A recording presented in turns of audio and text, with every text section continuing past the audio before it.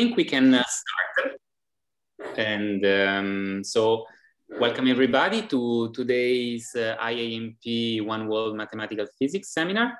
It is my pleasure to introduce uh, today's speaker, Constanza Rojas Molina from uh, Université uh, Cergy Paris. And um, the title of today's presentation is Fractional Random Schrodinger Operators, Integrated Density of States and Localization. So let me say that, uh, as usual, the, um, the seminar will be recorded and and made available on YouTube. And having said that, uh, I leave the floor to Constanza, please. Thanks. First of all, thank you for the invitation today. Um, I'm very happy to be here with all of you, um, even if it's remotely.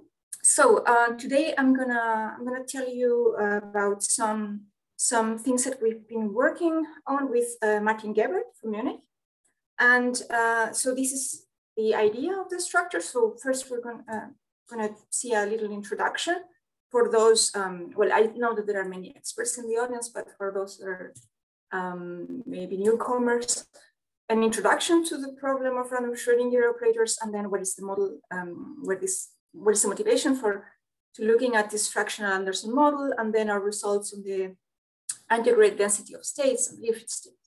And then um, hopefully we'll um, have the time to see some extensions and to see some open problems that would be interesting to, to see in the future.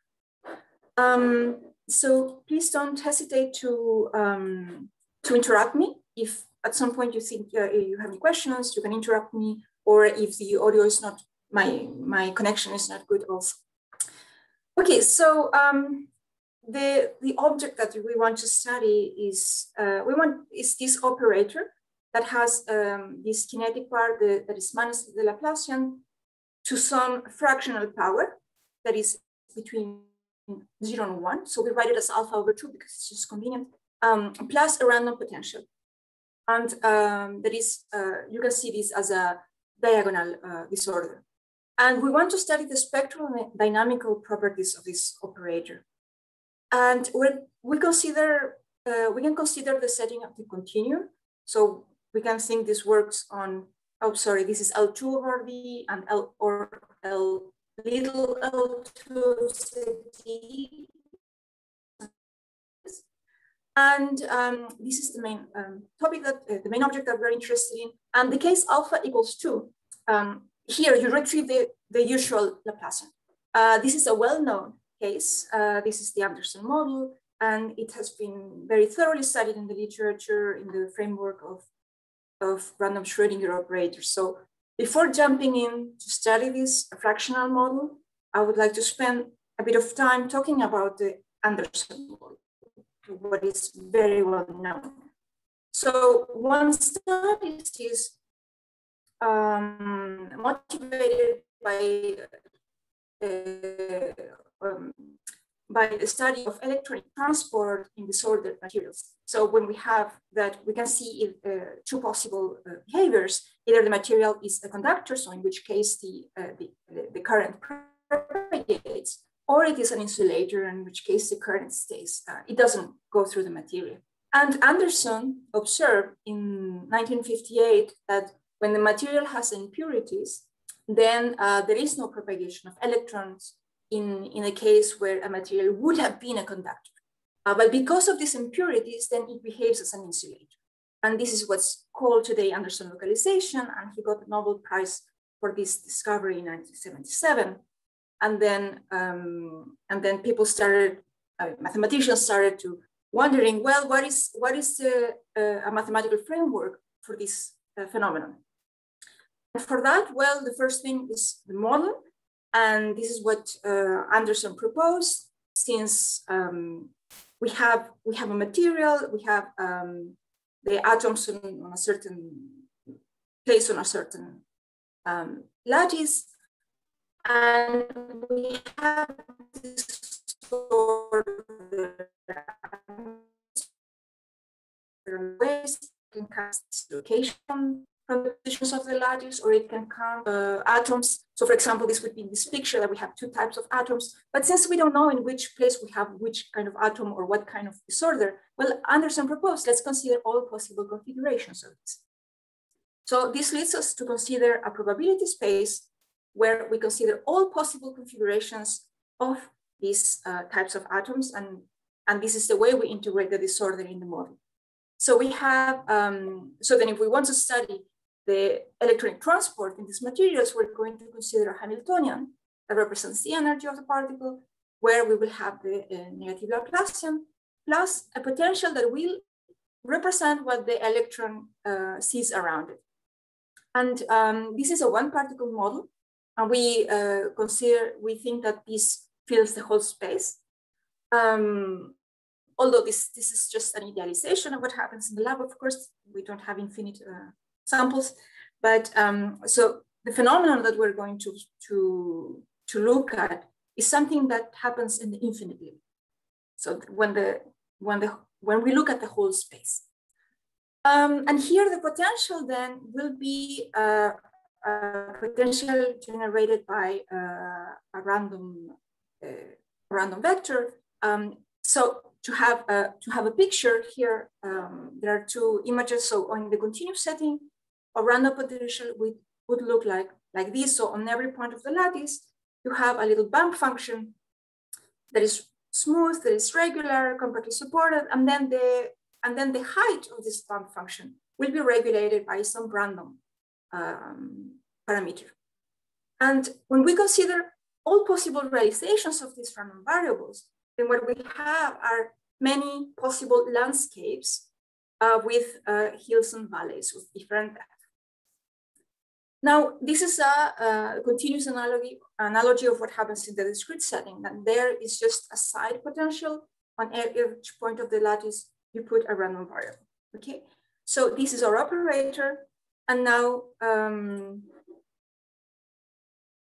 um, so now we put this in, in, the, in the machinery to study electronic transport. This uh, Hamiltonian will generate an a time evolution this will tell us how the electrons propagate in space. So this will tell us, give us the dynamics of the electron that is represented by some wave function. Um, so now we have this evolution that is generated by this random potential. And the manifestation of this disorder, so what happens, um, because we have this randomness in the material, what we see is localization in certain regions of the spectrum under certain conditions. Um, so typically in near the spectral gaps or, or else in, in a big portion of the spectrum, if we assume that the disorder is very strong, so that the height of our, our, our hills in the landscape will be very, very tall. In, under those conditions, we see uh, this, uh, that this quantity is finite. And what this quantity is, uh, is saying is that it's in a way quantifying how concentrated or, or spread out the function is in time. So we start with a function that is completely supported, and then we let it, we restrict ourselves to the spectral uh, subspace that is that corresponds only to the part of the spectrum that we're looking at. And then we let this evolve under the action of our time evolution. And then at a certain time t, we, uh, we uh, multiply by this uh, space coordinate. So this is we're taking here a weighted norm um, with this polynomial term. And of course, if the function starts completely supported, but if, if on time this, the function starts to spread out, this quantity will contribute a lot to the norm and this quantity will grow. So this would be when there is spreading, when there is propagation. Now, when we don't have that, so the, the other extreme would be that this quantity stays bounded for all times. Uh, and that means that the function, it started completely supported and then it spreads perhaps a little bit, but then it stays localized in, in a region of space near where it started. So if we ask this quantity to be uniformly bounded in time and in expectation, then what we see is that our electrons do not propagate because the wave functions will stay localized. Okay, so here we have two aspects of this what we call dynamical localization. We have a dynamical aspect that means that the function, that wave functions that are bound states, so they don't spread in space. Um, and they are also exponentially decaying. And there is another uh, aspect that is spectral, that and this concerns the operator. The operator H omega exhibits pure point spectrum with exponentially decaying eigenfunctions. And of course, this results for almost every omega. So that means that for almost every configuration of the potential. So in general, we want, we, we make some assumptions on our operator that is ergodic so that all the results that we have will hold for almost every uh, configuration of the potential. Just remember that when we're dealing with random Schrodinger, we're dealing with a whole family of operators, basically. So these are the two aspects, dynamical aspects, how the, how the wave function evolves in time and how the spectrum behaves.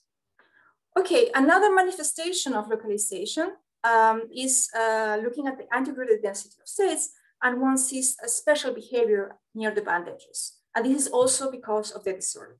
Um, so first, the definition of the integrated density of states, well, we define it as, as follows. This is the limit of the eigenvalue counting function.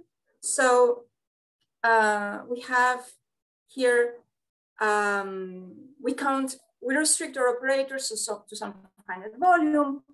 There we have a discrete spectrum, and then we can count the eigenvalues since our operator is uh, lower semi-bounded. So we can count the eigenvalues below a certain threshold normalize this quantity, and then take the limit.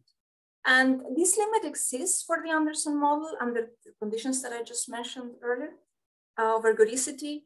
And uh, what happens now with the, okay, this function exists, is deterministic. And what happens with its, uh, with its asymptotics? So it's interesting to see how, how this function behaves. This function uh, is a function on the spectrum of the operator. And what happens is that if we have uh, just the Laplacian or the Laplacian plus something periodic, we will see something like uh, the blue line. Here in the graph, this is for b equals two, but in general, this would behave as e, the energy to the power t over two. And um, you see that this, uh, this is a polynomial, but when we have a disordered potential, this changes drastically because near the edge of the spectrum, this decays exponentially. And as an exponential, we retrieve the e to the power of v over 2 here. Okay, so we know that for the Anderson model, oops, sorry.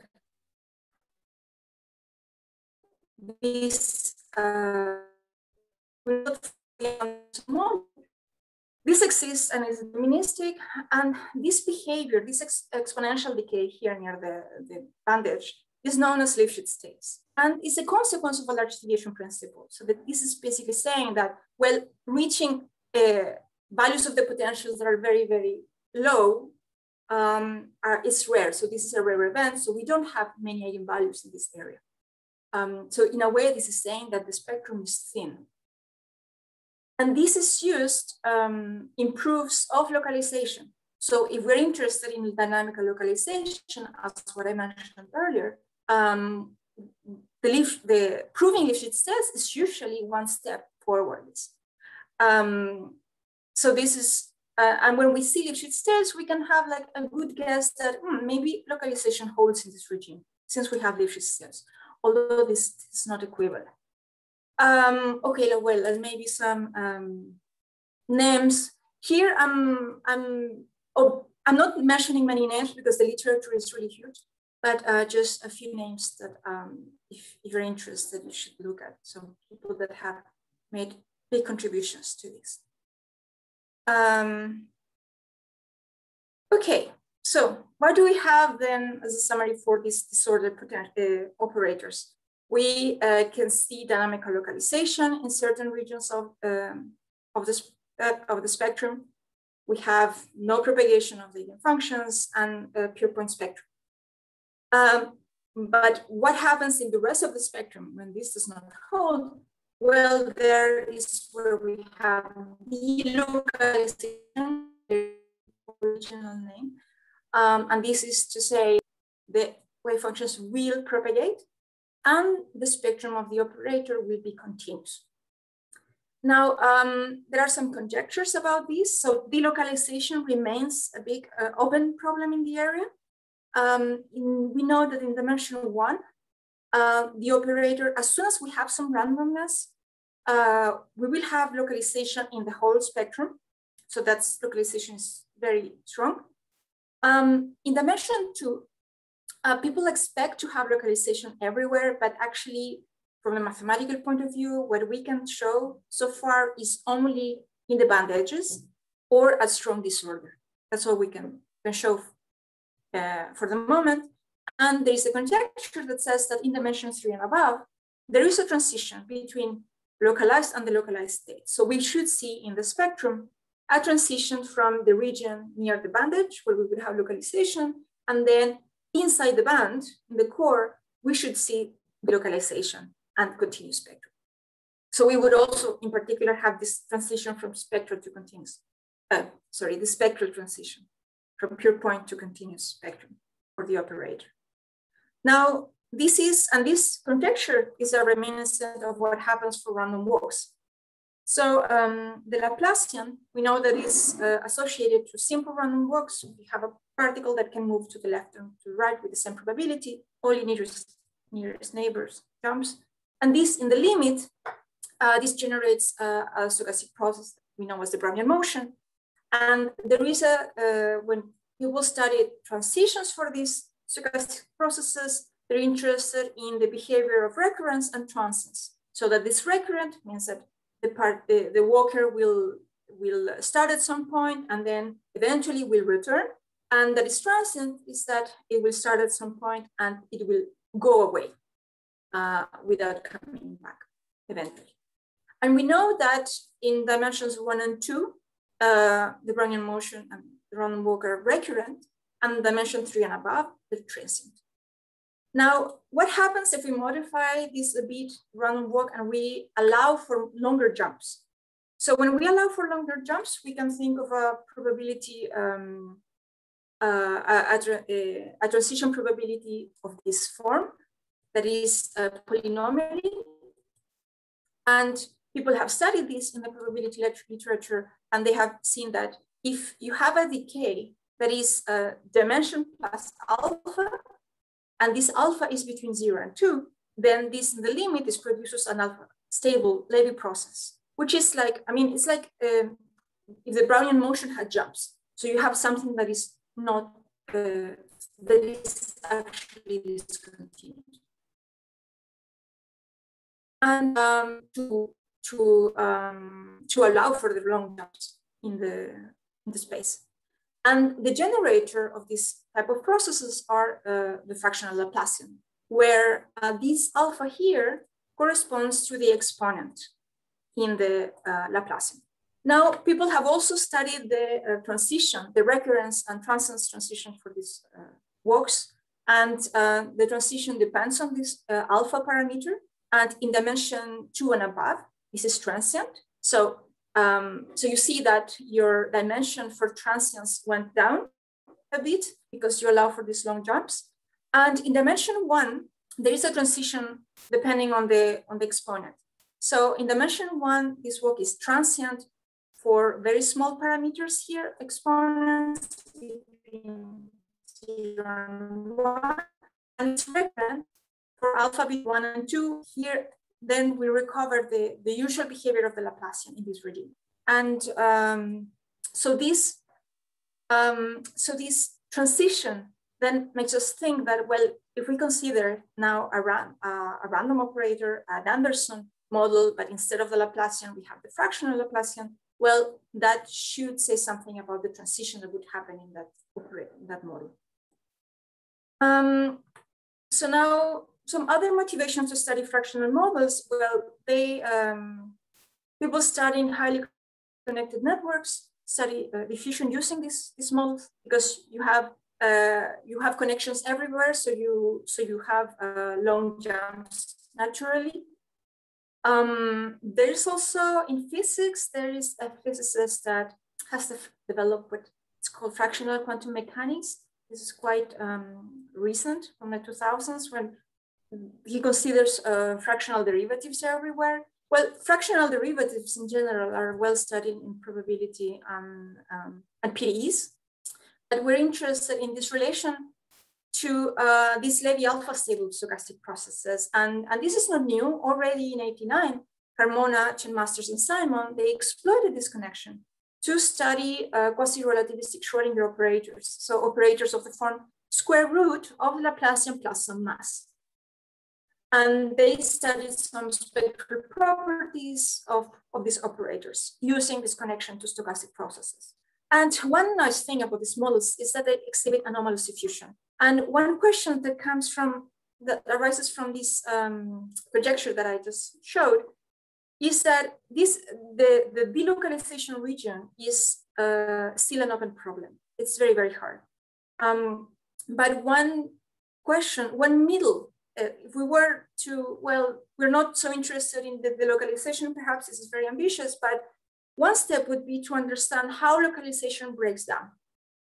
So what uh, can we do in the model to break down this localization property? Uh, to perhaps understand how delocalized states arise, uh, well, eventually, with some wishful thinking. So um, that was our motivation with Martin to study these fractional models, and uh, we, we studied them in the discrete setting. So let's see what is known for the discrete setting. Um, so these operators have been very well studied in the continuous setting and uh, also with probabilistic tools, but in the discrete setting and in the framework of difference operators, this is less so. Um, what is known in dimension one is that if we write the fractional Laplacian as this integral operator in, uh, in the discrete setting, uh, well, Ciaurri, uh, Roncal, Torrea, and Varona, they, they proved these um, asymptotics for, this, uh, for the kernel.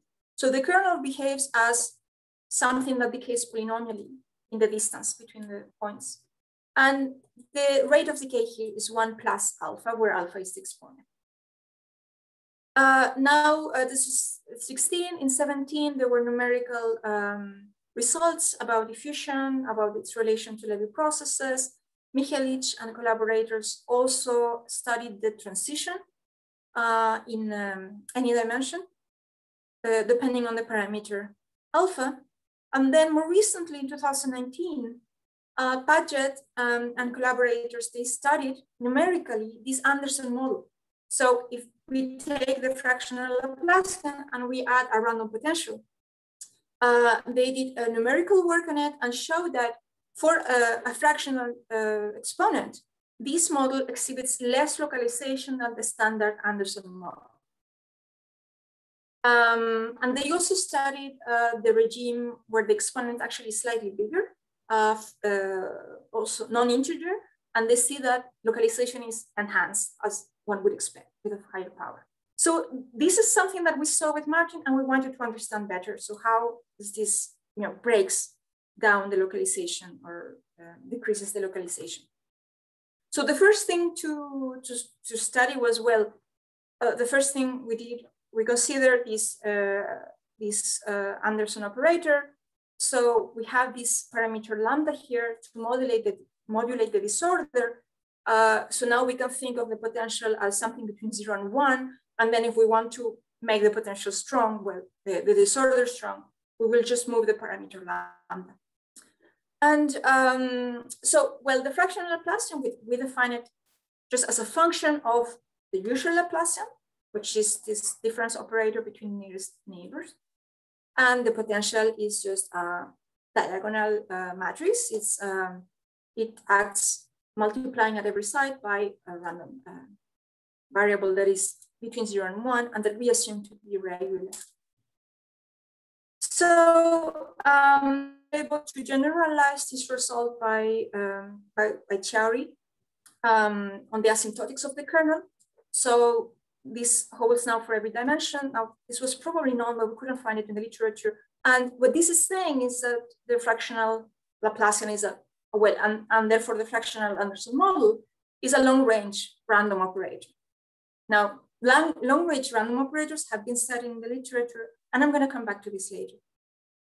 So, um, and a way to, to see this very uh, quickly, I'm not going to go into the proof, but it's really that when we look at the uh, we look at uh, the symbol for the Laplacian, which is 2 minus 2 cosine to some power, fractional power, and this has a cusp. Uh, so this has a singularity.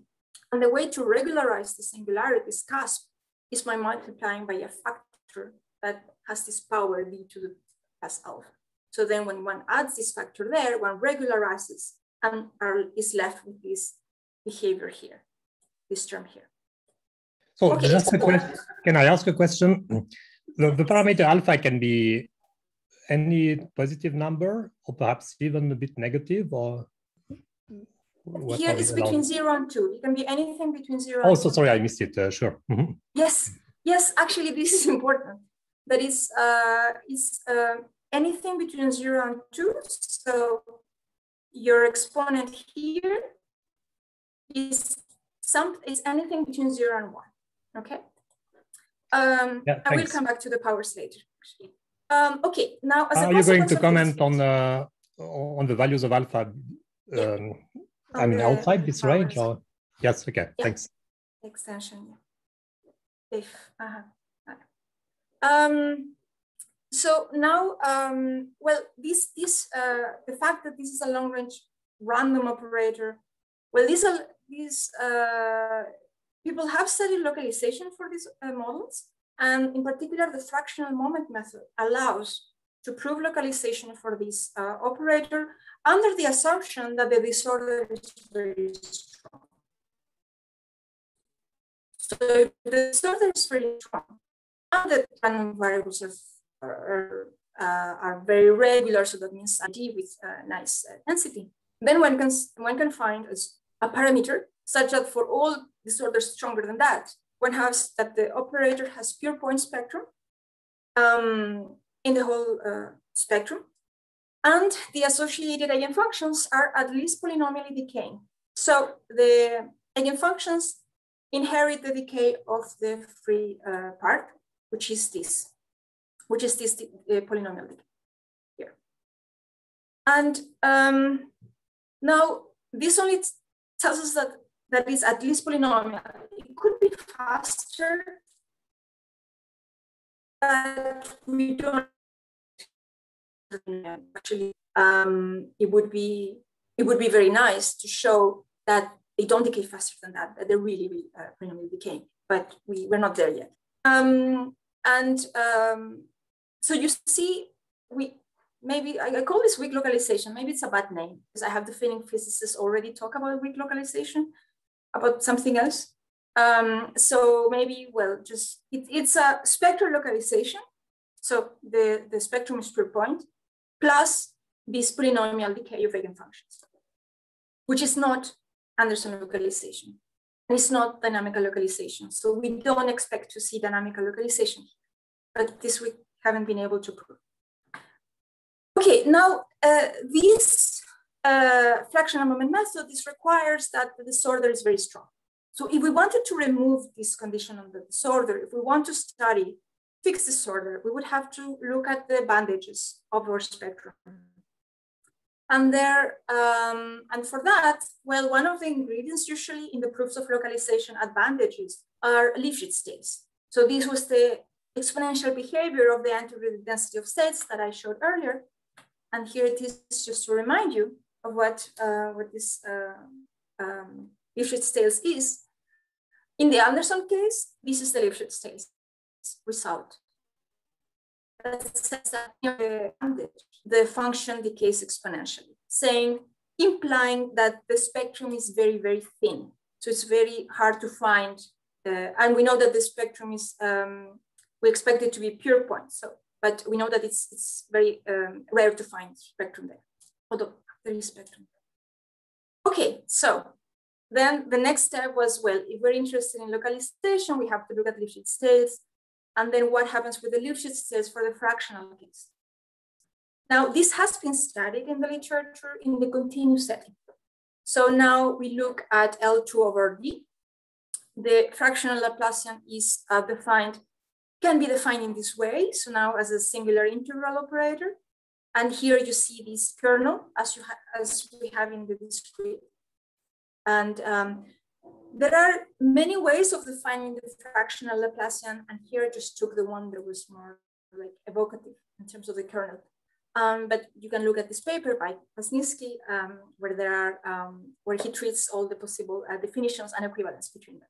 Now, what happens now with the fractional Anderson model? If we perturb this continuous Laplace, uh, fractional Laplacian by a random potential, then one gets fractional Lifshitz tails in the continuous setting.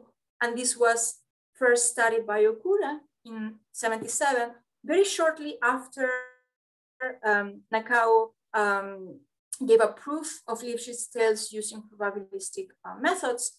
And he studied the case of Poissonian random potential. Uh, so that is a random potential that is not like the Anderson, but instead of having hills and valleys that are of random depth, what we have is um, uh, the points where we have our potential are uh, distributed as a Poissonian process. So they are distributed in space, but they all have the same height. So the disorder really comes from the position. And, um, and then in uh, 19, um, Katarzyna Pietruska-Pałuba and Kamil Kaleta, they studied the case of Anderson potential and they obtained fractional Lifshitz tails as did. Um, and I have to say that um, uh, this uh, group in Poland have studied a lot this uh, fractional um, Anderson model with Poissonian potentials on uh, fractals too, and studied Lifshitz tails on those settings. Um, and uh, these proofs here are with a probabilistic method. So using uh, the Laplace transform of the eigenvalue counting measure, and then um, and then using uh, Feynman-Kac formulas, using Tauberian theorems, and then uh, obtaining this, this estimate. So they rely on Feynman-Kac formulas. And in the discrete setting, we, we couldn't do that. So uh, we were, uh, we knew that this, well, what we have to get is this. So the, Lifshitz, the fractional Lifshitz tails is this exponential uh, asymptotic, but now you see that instead of having d over two here, we have, it's like having d over two divided by alpha over two, which is the exponent on the Laplacian. Okay, so we see again the Laplacian appearing here, a fractional Laplacian in this case. Okay, so with Martin, we found uh, for the discrete setting, so for our difference operator, uh, fractional Lifshitz tails. And uh, the way to prove this is um, it's actually very close to the, we can follow the same proof standard um, uh, analytical way of proving this once one realizes that uh, one has a Dirichlet Neumann bracketing. So what one does in order to study this, um, this, uh, this function is, well, we restrict our, our, our operator to a finite volume. Oh, here, there should be a, I just remind you that here, this is a limit. Sorry, I forgot to say the, to, to point, uh, write down the limit. But actually, one can bound this above by something of this form. Uh, so now here we're counting the eigenvalues in this interval minus infinity to e, which is actually just zero to minus infinity in this case, because our spectrum starts at zero. And then uh, the key observation here is that taking a fractional power is, uh, this application is operator monotone. So whatever inequality you have in terms of operators will be preserved under um, taking these fractional exponents. And so we have, we know that there is a Dirichlet Neumann bracketing for the Laplacian, for the usual Laplacian. The Dirichlet Neumann bracketing, well, it's known um, in the continuous setting. Uh, you have Dirichlet boundary conditions, Neumann boundary conditions, and you have that when you restrict your Laplacian to a box with these boundary conditions, then you have an operator that with Dirichlet boundary conditions, it lifts the spectrum, and with Neumann boundary conditions, it goes lower. Now, this can be uh, so in the discrete setting, one can define similarly boundary conditions, Dirichlet and Neumann, that respect this bracketing, this inequality between operators. So that the Dirichlet restriction will lift the spectrum and the Neumann will lower the spectrum. And uh, we use this, and then we take the fractional uh, exponents of this, and there we have um, a lower and upper bound for our uh, fractional Laplacian. And then we work with this as the usual, uh, as in the usual way, with the usual Anderson model, where one works with the Dirichlet and Neumann restrictions. So then one has to study the um, ground uh, states for these, ground states for that, trying to get upper and lower bounds.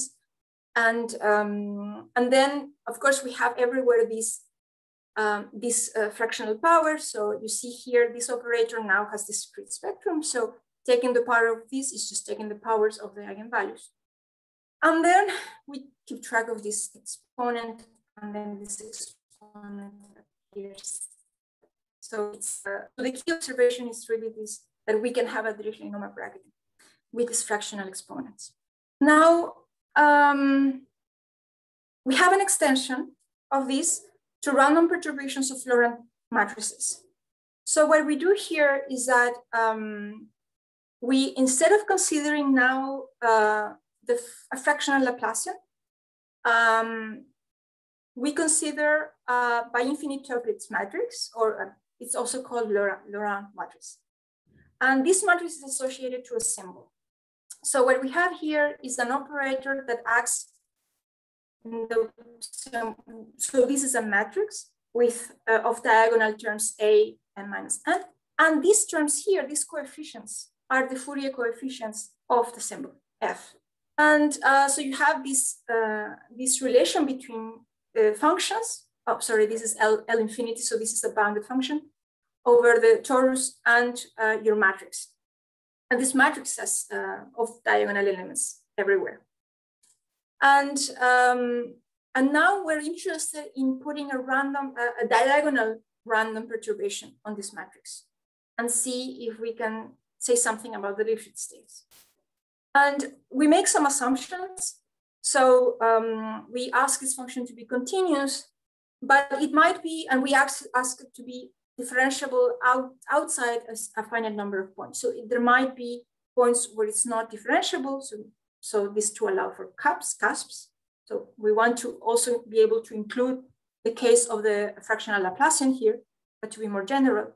And we allow this to have um, finite, uh, we allow it for finitely many points where it's not differentiable. And also for finitely many points where it attains its minimum.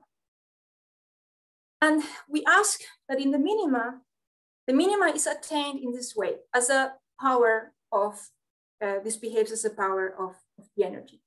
So maybe I will just uh, briefly make a picture here. Uh, in any case, I have a picture in the next slide, but um, can I annotate? Yeah.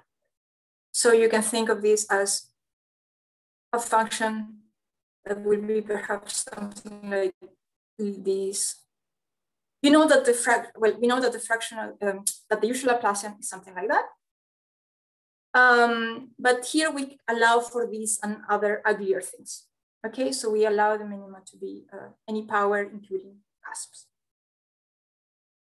Okay, and for this case, we also have uh, Lifshitz tails, and we see that um, here in the exponent, where before we had, uh, well, d over alpha in this case, dimension is one, so they will have one over something. We see that um, this behavior here is uh, the maximum of these powers here. So it's a, we allow for different possible minima. So we take the maximum of all these powers, and then this will tell us how the integrated density of states behaves at the edge of the spectrum. And this uh, this is suggestion, well, then this tells us that the IDS really behaves as um, an exponential of something that has the behavior of the free part here. So this is the behavior of the integrated density of states of the kinetic part. This is the e to the power v over 2 that we see before. This was this is the behavior of the Laplacian. And here we see the behavior of the uh, Toeplitz uh, part.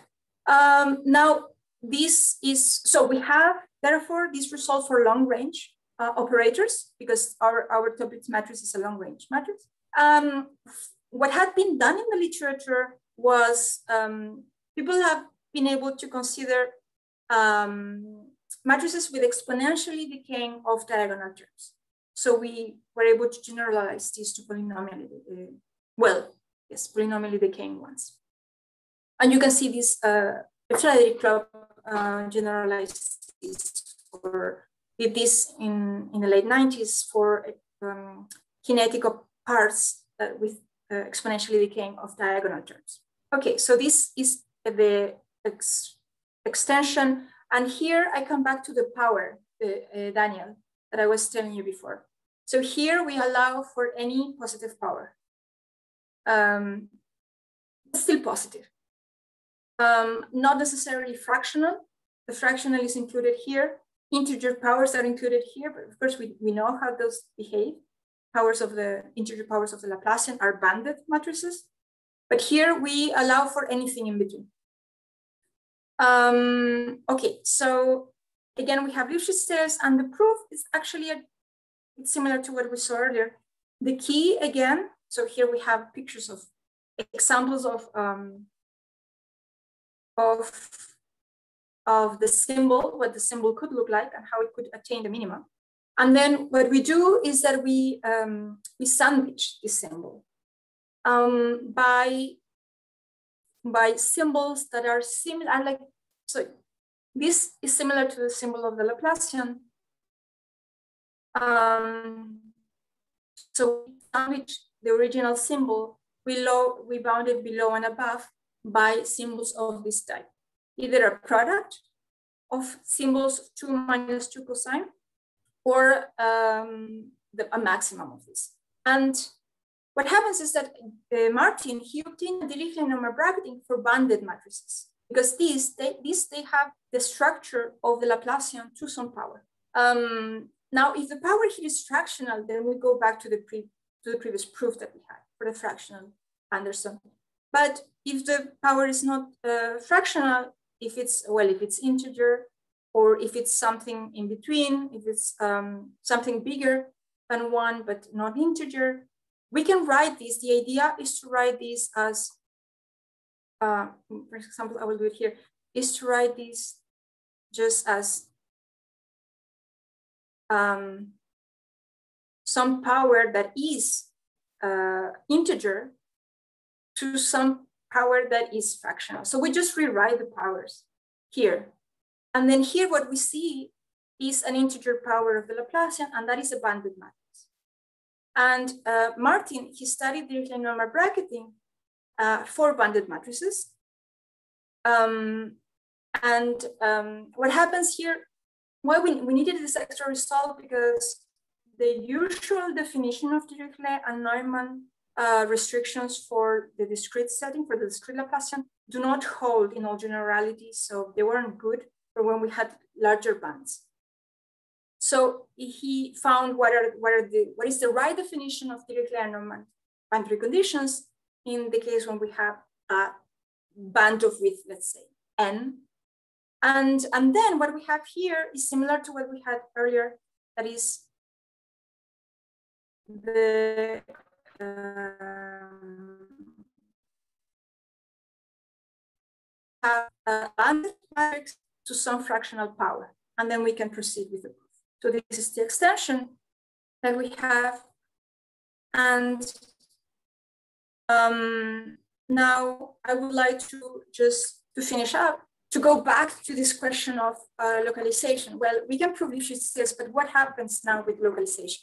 Um, so as I, I, had mentioned earlier, the um, operators that are long range with random uh, with random potential have been considered in the literature. This is what we know. If we have a decay that is of this form, um, if our kinetic part decays as uh, the difference of between the points uh, to some power gamma, what do we know? So Abel Klein in the late 90s, he showed Anderson localization assuming that the off-diagonal terms were exponentially decaying. That is known. That was also considered in the fractional moment uh, method. Um, Aizenman Molchanov, um, well, this is the result that actually we used, that if the disorder is strong enough, we can find, uh, we can have a statement on localization. Um, now, there is also work by Jaksic and Molchanov in the late 90s, where they studied the case in dimension one. And um, they consider K that is stronger than under a decay that is stronger than eight, so this power here is stronger than eight, then they find a pure point, um, pure point spectrum. And, um, and they also are able to lower the, the power to show that there's no AC spectrum, but the, um, so uh, I'm gonna mention this in a second again. And more recently, uh, Yunfeng Shi, uh, he, he developed the multi-scale analysis um, that uh, Abel uses in the late 90s. He, um, he came up with a multi-scale analysis that allows for long-range operators, but again, he has a very strong condition on the decay. So in his results, the decay has to be like, like this, like much bigger than the dimension. And none of these cases covers our case, the case of the fraction of Laplacian, that is a very weak decay. So this is barely integral. Um, so none of these cases covers the case that in dimension one would be one plus something between one and three. Um, so at the moment, the question is, is there localization uh, for these operators without the disorder, uh, strong disorder condition um, in arbitrary dimension? That is one question. And also what happens in dimension one, there is this um, conjecture of, the, of a transition. So uh, remember that when we talked about uh, the random walk with long jumps, um, people have studied this, this uh, transience and recurrence transition. And in dimension one, for the random walk, we know that the random walk is transient for alphas between zero and one. So let us just, uh, so here in the Laplacian, this would be the Laplacian without the exponent between zero and one half. That would be transient and recurrent for an exponent between one half and one. And, um, and actually this is mentioned in Jaksic and Molchanov's uh, paper. They are trying to go in that direction. And this is how they, they expect to, they were expecting to, to study this uh, transition. Um, but their method requires uh, this a condition on the decay that doesn't, uh, doesn't go uh, lower than that. Um, so now the question is, uh, well, what happens with uh, if we add a random potential?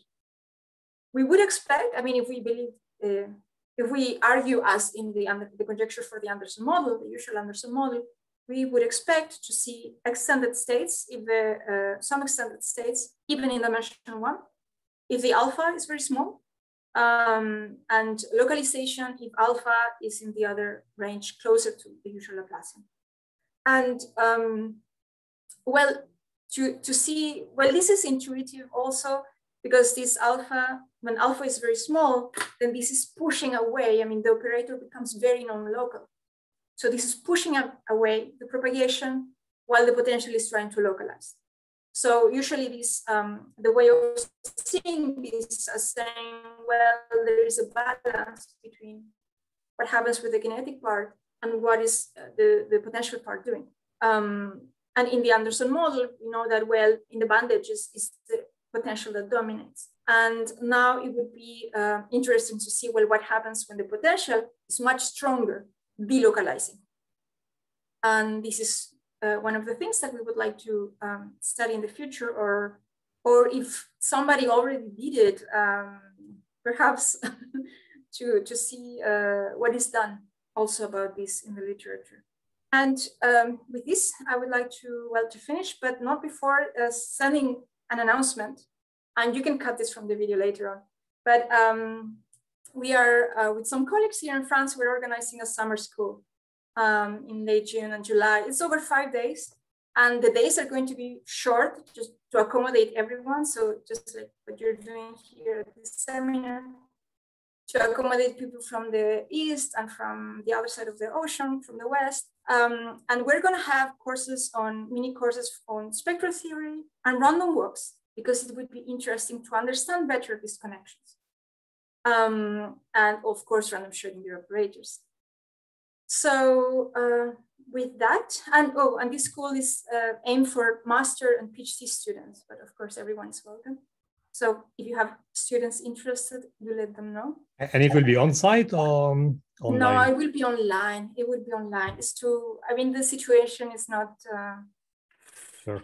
It's not good for, for doing things in presence yet. I mean, it's slowly going, slowly improving. We don't want to spoil that. So yeah, for this year, it will be uh, online but yeah, I mean, we're gonna make an effort to make you know something interesting and not to to avoid some fatigue with the, the way that we schedule things, um, and with a lot of interaction. So I hope that we will have a very diverse audience. So with that, then I thank you for your attention. Thank you very much, Constanza, for, for the very nice presentation. Um, are there questions?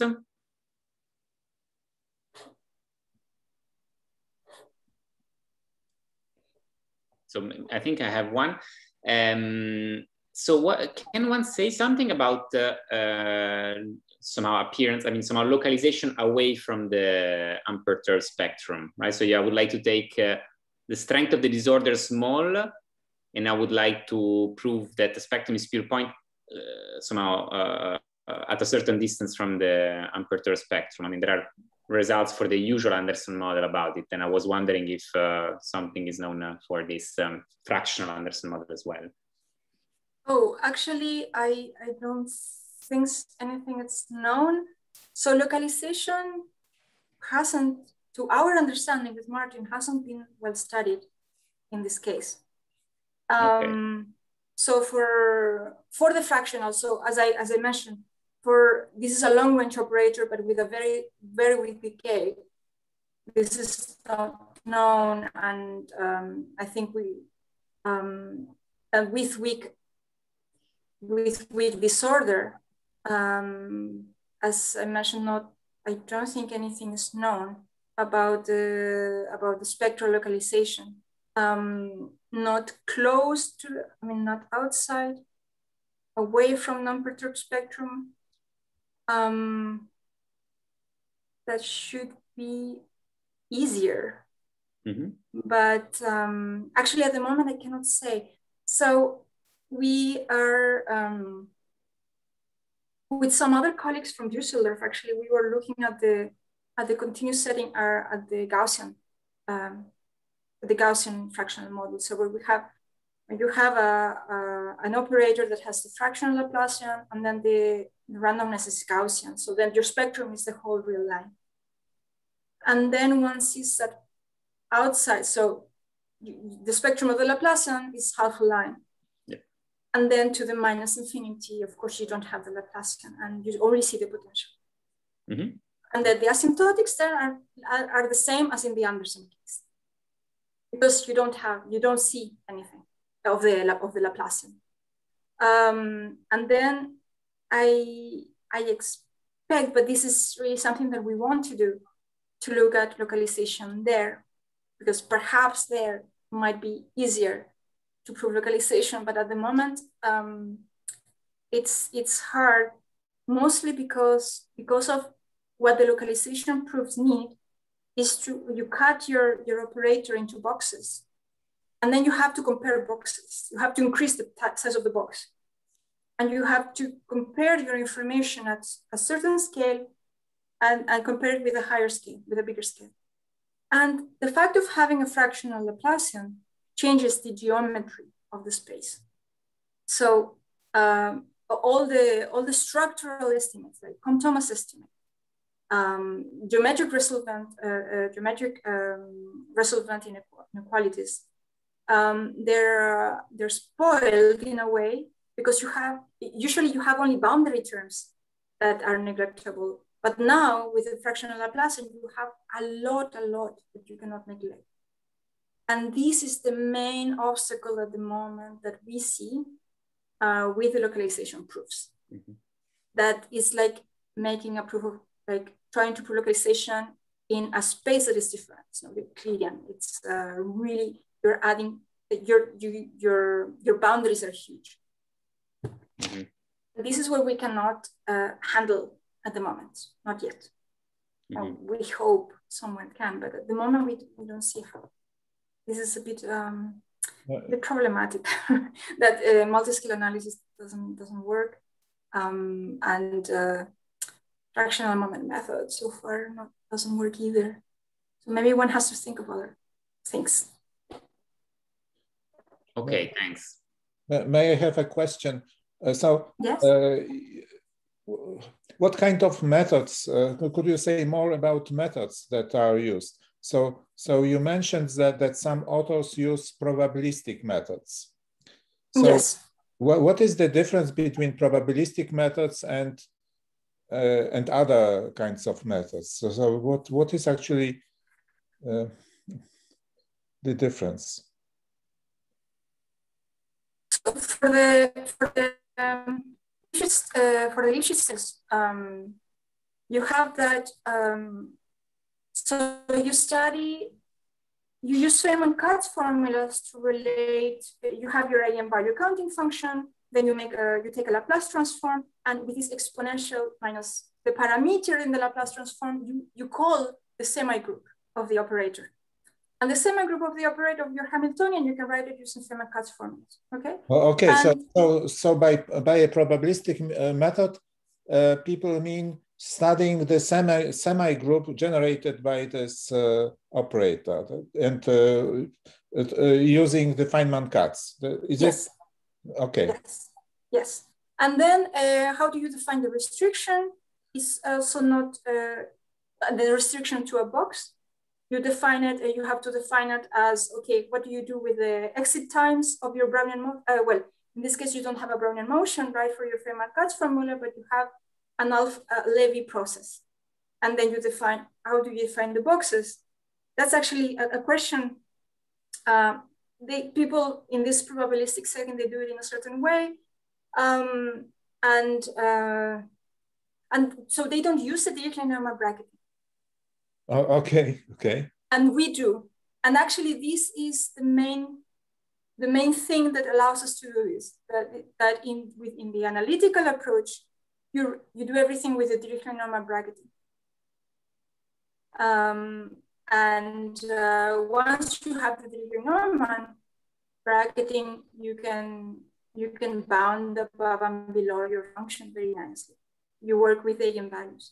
So. Uh, um, so why, why I would do, say why do pro probabilistic people refuse to use uh, uh, oh, wait, no, no, I have to say something. With the probabilistic tools, they have much better results because they they have much. We what we have is asymptotics. We have actually a log log estimate, and this is standard in Anderson model. I mean, everybody, if you look at any result on the series of random Schrodinger, you find log log estimates for, for the, so this estimate here, this is in the sense of a log, log, and so you forget some correction terms. But actually with probabilistic methods, uh, Katarzyna Pietruska-Pałuba and Kamil Kaleta, they're able to obtain much more refined bounds. And they're really able to get all the terms, all the corrections there. So it's actually pretty powerful machinery. And I would ask the other, uh, my question would be in the other sense, like why are we not using more of these methods? Okay, so so let, let me ask this question.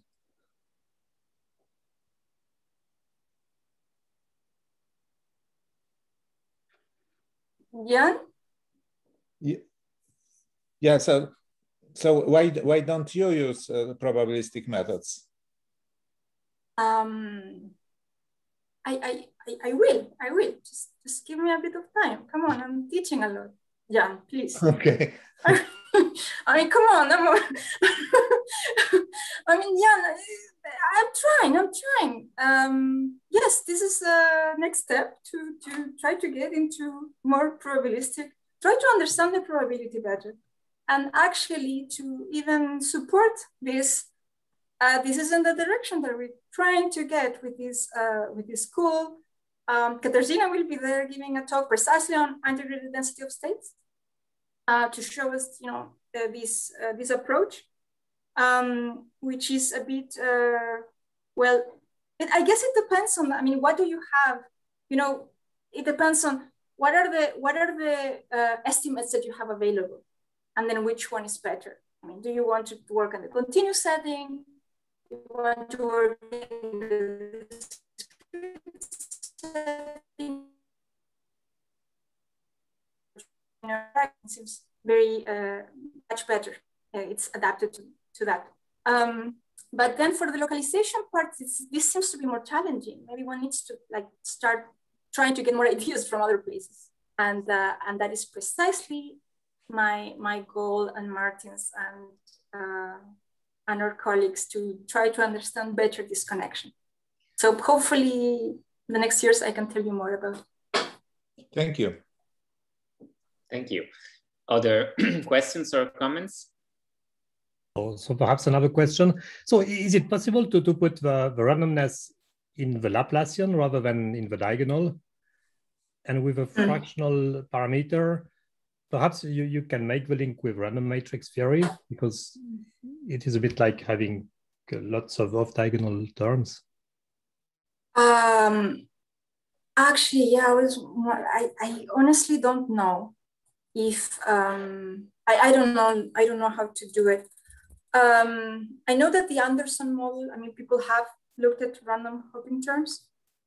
Um, but uh, to add this uh, to this model, um, ah, you mean because we have banded, because we have more banded matrices, we have wider bands in this setting. Um, uh, well, I'm not exactly sure what um, I would like to, to have, but the, the fact that you have this parameter alpha, I mean the, um, the fraction, means that effectively it's a bit longer range. Yeah.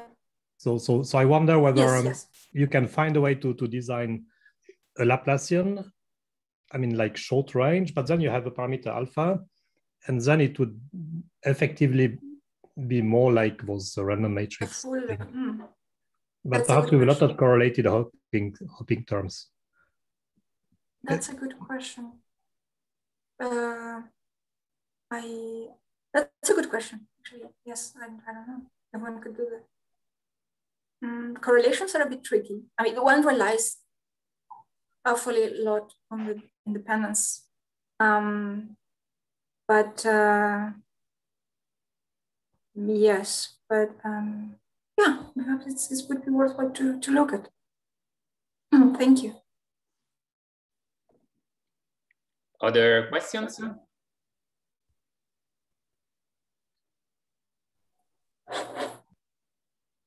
Okay, so if not, uh, let's thank you for the for the nice presentation. Thanks a lot. Thank you very much.